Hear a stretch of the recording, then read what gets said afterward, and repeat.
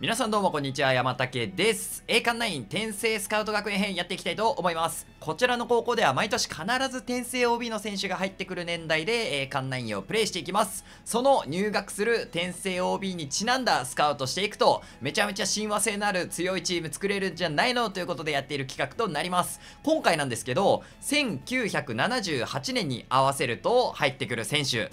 秋山浩二選手を行きたいと思います。はい。でね、秋山選手といったらね、やっぱ監督もやっていたり、めちゃめちゃね、すごい選手だった印象あるんですけど、特にですね、僕の中で印象に残っていることが、ホームラン打った後の爆中なんですよね。ホームベースに爆中してホームインするみたいなのがね、結構昔の映像を見てね、印象に残っております。ということでですね、今回ですね、その爆中にちなんで、えー、企画を考えてきました。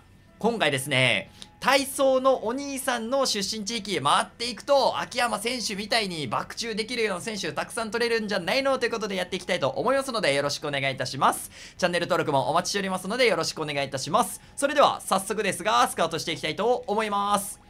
はい、歌のお兄さんですね。あの、NHK のやってる番組なんですけど、こちらですね、全部で13台いるらしいですね。はい、で、全部で11地域ありますので、いろいろ選んでいこうかなと思います。まずはですね、初代体操のお兄さんの砂川圭介さん出身地域である東東京に行きたいと思います。まあ、歌のお兄さんといったらやっぱひろみちお兄さんが僕らの中では有名な歌のお兄さんかなと思います。さあ、様々な地域で野州のみの地域ですね。見ていきたいと思います。さあ行きましょう。ほい。おおいいですね。威圧感で基礎能力高い橋本選手、かなりいいんじゃないでしょうか。さあ、他にも結構いいバッターはいますが、これはさすがに威圧感でね、基礎能力も一番高い橋本選手いっちゃえばいいんじゃないかなと思います。ということで、まず1人目は、ファーストの選手取っていきましょう。結果どうでしょうか良好ですね。それでは2人目スカートしていきたいと思います。2人目はですね、2代目と6代目の体操のお兄さんであった佐久間俊直さんと輪島直之さんの出身地域である北海道に行きたいと思います。ちょっとね、北海道のどちらか分かんなかったので選んでいこうかなと思うんですけど、今回ですね、秋山選手が外野手で入ってきますので、ピッチャーできれば3人取っておきたいんですよね。ということで、南北海道投手の、えー、盛んな地域行きたいと思います。さあ、見ていきましょう。あー、なるほど。ピッチャーはそんなにですね。野手もそんなにですね。野手もそんなになので、ここはお見送りでもいいかな。池田選手行ってみてもいいかなと思うんですけど、もう一伸び休息も欲しいかなと思いましたので、ここはですね、勇気のお見送りしていきたいと思います。それでは3人目スカウトしていきたいと思います。3人目はですね、3代目体操のお兄さんの、えー、岡田正蔵さんの出身地域である大阪府に行きたいと思います。一芸特化地域ということで見ていきましょう。お僕ちょっとこの神尾選手好きだな。変化球むっちゃ高い将来性感じる選手。結構好きですね。まあ、他だったらこの荒川選手かなって感じするんですけど、ちょっとね、将来性感じる選手僕個人的に好きなんで、神尾選手行きたいと思います。さあ、結果どうでしょうか両方ですね。それでは4人目スカウトしていきたいと思います。4人目は4代目体操のお兄さんである向井忠義さんの出身地域、福岡県に行きたいと思います。さあ、行きましょう。福岡ということで、おお、野手のみの地域ですね。見ていきましょう。ほい。うーん、なるほど。浜田選手いいですね。なんかこれぐらいいろいろね、あの、振り切った能力なの好きですね。あー、でも、浜崎選手もいいし、細川選手もいいなあー、深田選手将来性感じる選手いいかもしんないなこれね、ちょっとまた僕の好みになっちゃうんですけど、将来性感じる選手で、ここは行きたいと思います。ということで、深田選手行きたいと思います。結果どうでしょうか？うわー、よくない。まあ、この選手は深追いしなくていいかなと思います。それでは5人目スカートしていきたいと思います。5人目はですね、5代目の、えー、体操のお兄さんである小西幸雄さんの出身地域、兵庫県に行きたいと思います。打撃重視ということで見ていきましょう。ほい。うん、なるほど。ピッチャーね、結構まだいい選手取れてないんで、と思ったが、野手もちょっとどうかなって感じですね。まあ、今回、秋山選手を迎え入れるためにね、ちょっとね、空きを作っとく必要はありますので、ここはね、スルーしようかなと思います。ちなみにね、このキャッチャーの選手、多分ね、これ、諸角選手って読むらしいですね。最近僕も、あのね、この 読み方を知ったんでね、びっくりしました。はい、ということでお見送りしたいと思います。それでは6人目スカウトしていきたいと思います。6人目は7代目体操のお兄さんである川原洋一郎さんの出身地域である熊本県に行きたいと思います。そう、6代目の人はね、北海道だったので、えー、すでにね、行ってしまっているということで、熊本県行きたいと思います。さあ、ここも打撃重視地域ですね。見ていきましょう。ピッチャー能力低いな、この選手。さあ、他の選手も見ていくと、うーん、なんか、なんかちょっと物足りないですね。この地域もスルーしちゃっていいかな。いや、この地域もね、一旦スルーしようかなと思います。さあ、ここからはですね、7人目から10人目まではですね、えー、新入生の履歴書を使ってみていきたいと思います。まずはですね、8代目体操のお兄さん、瀬戸口文弘さんの出身地域、鹿児島県に行きたいと思います。はい、ここは内野手と、えっ、ー、と、キャッチャーですね。行きましょう。おお全国優勝いたただ、あんまり基礎能力が高くないなこっちの選手のが若干高い。いや、でも同じぐらいか。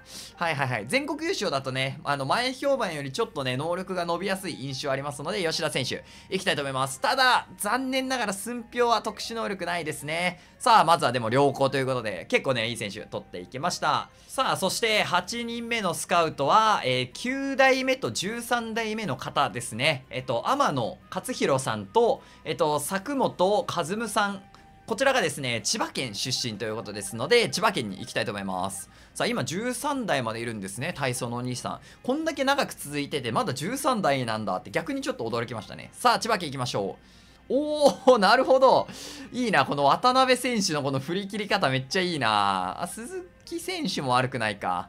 はいはいはい。いや、これピッチャーどっちか行きたいな。なんかすげえ、気になるな。ただ、今野選手、特殊能力ついてないこと考えると、120キロしかないし、変化球めっちゃ低いけど、渡辺選手ちょっと興味あるな。基本ね、僕、球速と変化球が栄冠9って能力上げづらいイメージあるんで、逆にそれが少ない選手取ったらどうなるのかなってちょっと気になりました。ということで、渡辺選手いきたいと思います。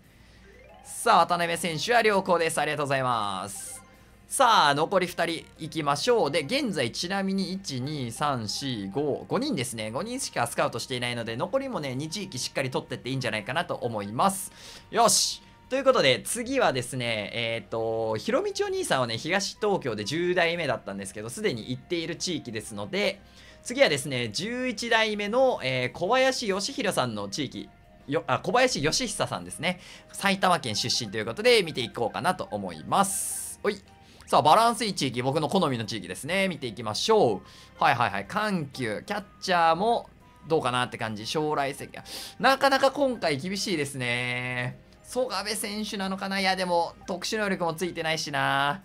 いや、でも、ここの地域1人ぐらいさすがに取りたいので、佐々木選手でいこうかなと思います。長打がね、結構振り切ってるんで、いいんじゃないかなと思います。さあ、良好ですね。さあ、そして最後ですね。最後はですね、北海道は2地域行ってたんですが、片方の地域しか行っておりませんので、えっ、ー、とこっちか、北北海道行きたいと思います。さあ、ここも投手が多い地域だが、おなかなかいいですね。赤メーター、ピンクメーターがたくさんあるのは嬉しい。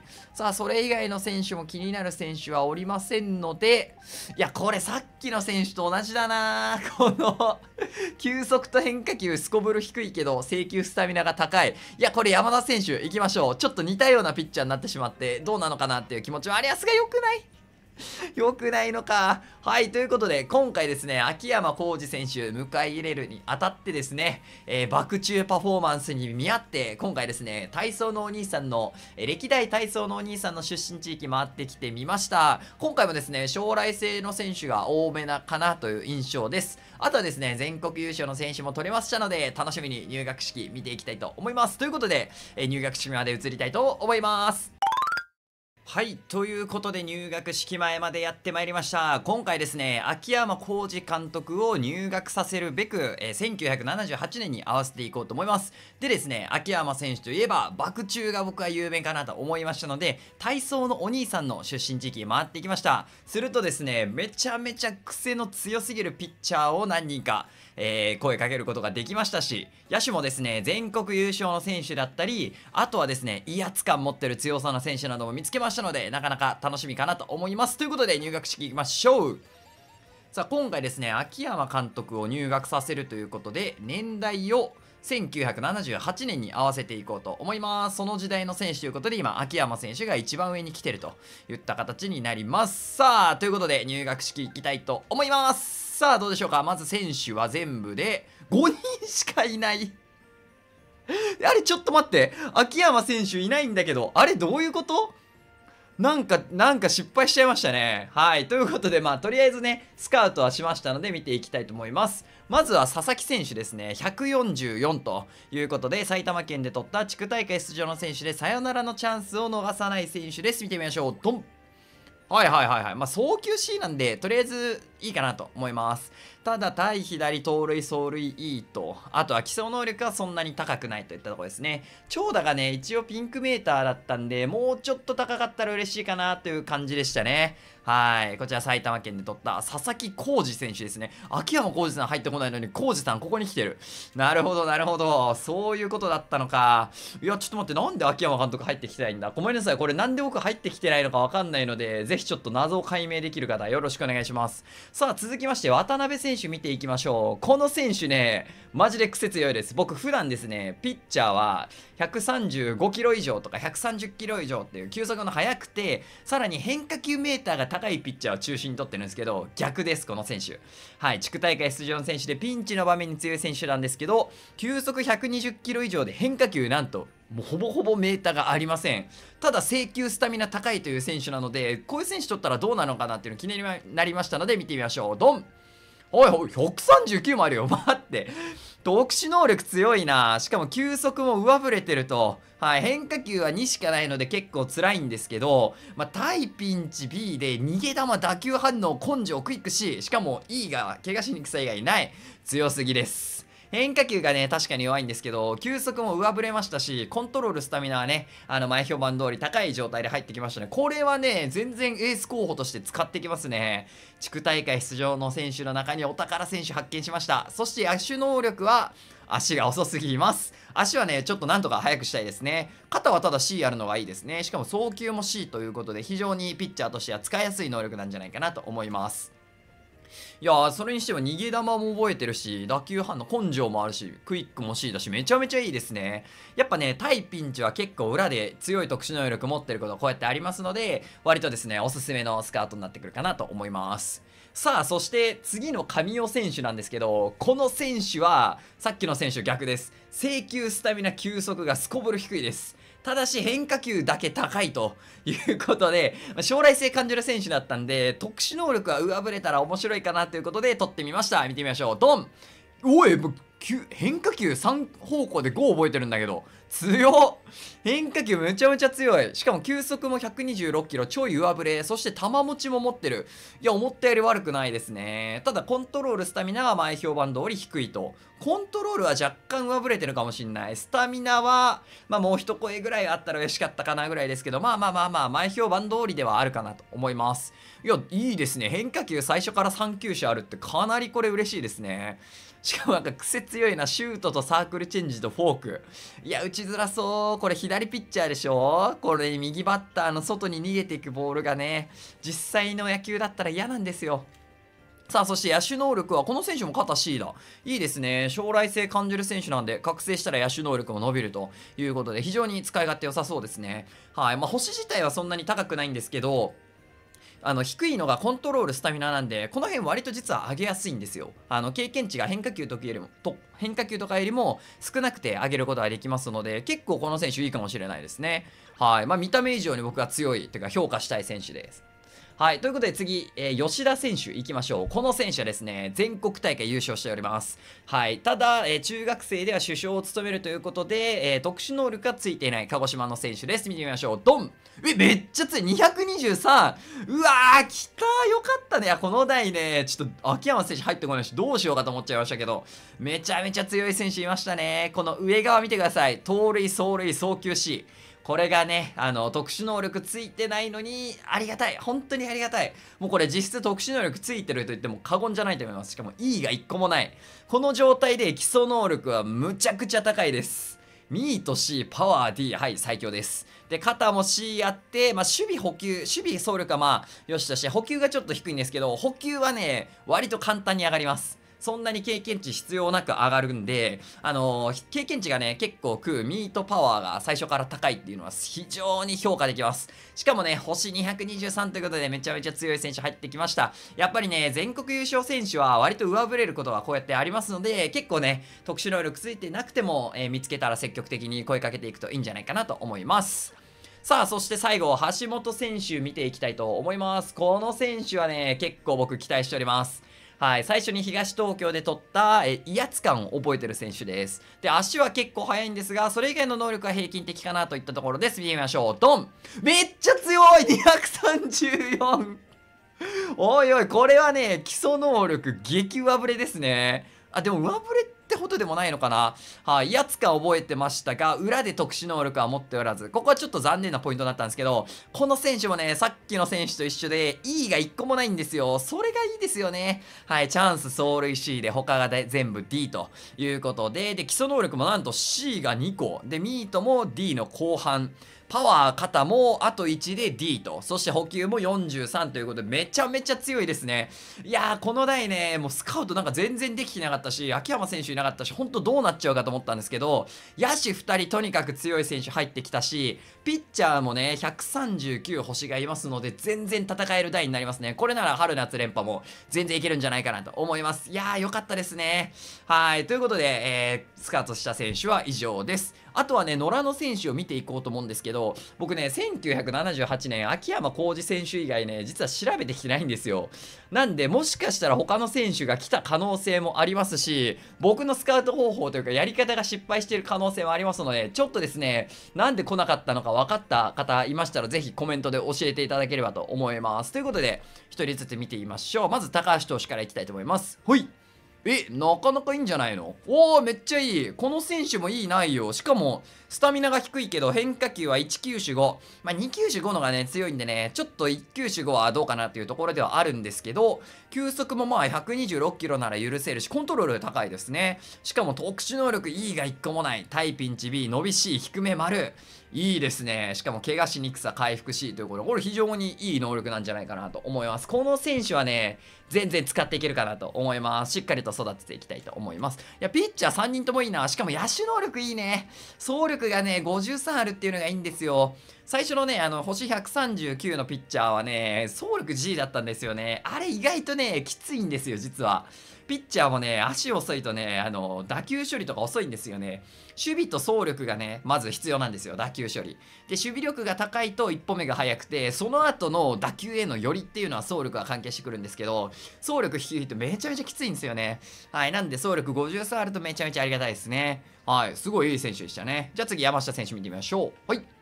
お、いいじゃないですか。野良の選手の割に基礎能力安定してますね。はい、早球いいということで、このまま外野での起用がいいんじゃないかなと思います。そして打撃能力悪くないです。チャンス C、対左 C でミート D ということで、めちゃめちゃいいですね。はい、で、守備もね、あの、全体的に F と E もね、後半に差し掛かってる数値なんで、実質もうちょっと、あの、上げてもいいんじゃないかなという感じですね。山下選手は特殊能力ついてないものの非常に悪くない選手なんじゃないかなと思います。はい。いや、いいね。野良の選手も強くて助かった。さあ、次、村上選手見ていきたいと思います。ほい。123。まあ、これはね、野良の選手といったらこんな感じですね。はい、いいも多いので、この選手は最後まで厳しいかなと思います。福井県からやってきてくれました。ありがとうございます。はい。次、鈴木選手見てみましょう。ほい。126。内野安打丸で基礎能力はそんなに高くない。まあ、野良の選手といったらこんなところでしょう。早球 D、走塁 D、チャンス D ですが、他が全部いいといった感じですね。基礎能力もまあ、そんなに高くないので、ちょっと厳しいかなと思うんですけど、さっきの選手がすこぶる弱かったんで、まあ、鈴木選手は割と使えるように育てていけたらなと思っております。でも星あんまり変わんないんだね。どうしてなんだろう、これ。ああ村上選手、いいの能力がもう結構後半に差し掛かってるんだね。はいはいはい、理解しました。はい、そして最後、中村選手見ていこうと思います。お調子者ということで、ほいと、89! ちょっと待ってくれ。お野手で89って相当だぞ。